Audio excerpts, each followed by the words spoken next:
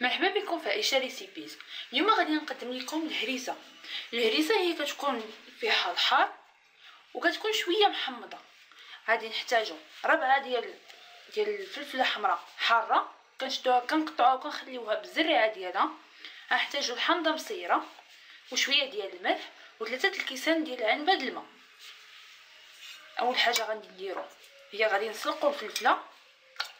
اللي كتكون مغسولة مزيان.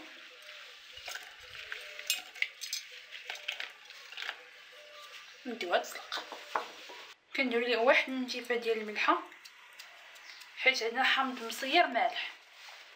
وكنطحنوه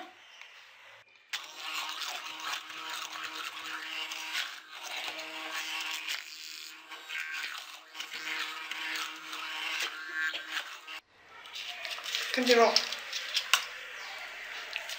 حامضة. كنقطعها باش كتعاوننا في الطحين. عندك جابهم مع بعضهما ما يفوتوليناش